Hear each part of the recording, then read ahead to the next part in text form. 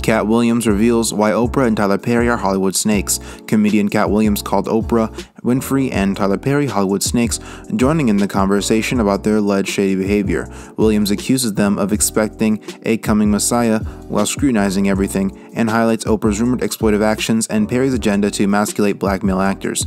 Several black celebrities have questioned themselves, have distanced themselves from the duo.